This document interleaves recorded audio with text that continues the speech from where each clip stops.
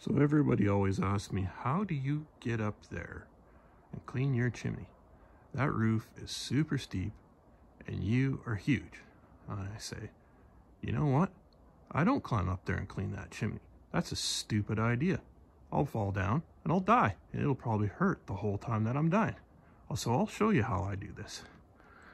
This right here is a chunk of PVC pipe with a brush on the end of it. Right there?